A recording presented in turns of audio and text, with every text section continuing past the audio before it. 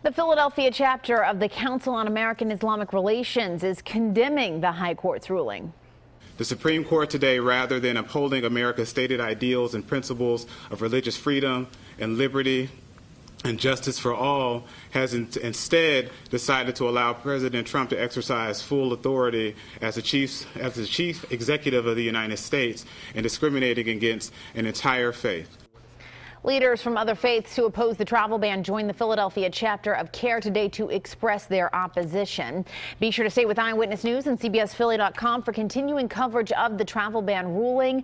The CBS Evening News with Jeff Glor will have the latest developments from Washington right after Eyewitness News at 6.